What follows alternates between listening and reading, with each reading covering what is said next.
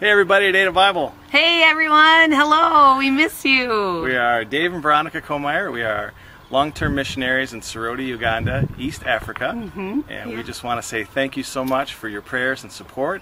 It's just, uh, it's been incredible that we're here. It's amazing. We miss our church so much. We do miss our church so much and all of our friends, but we're so thankful for your support and allowing us to be here to serve the Lord here. Yeah, we definitely wouldn't be here without you. So Yeah. thank you, Ada Bible, and we hope to see you the summer of 2015. Bye.